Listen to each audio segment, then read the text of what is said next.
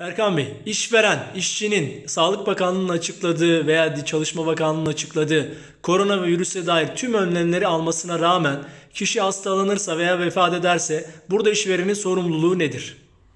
İşverenin bütün tedbirleri almasına rağmen yani bakanlığın açıklamış olduğu, İş Sağlığı ve Güvenliği Kanunu'nun emretmiş olduğu tüm tedbirlerin alınmasına rağmen işçinin e, malum hastalığa, koronavirüs ve hasta- hastalığına yakalanması durumunda e, işverenin artık bir sorumluluğu kalmamaktadır. Zira işveren kendisi kendi üzerine düşen tedbirlerin tamamını almıştır.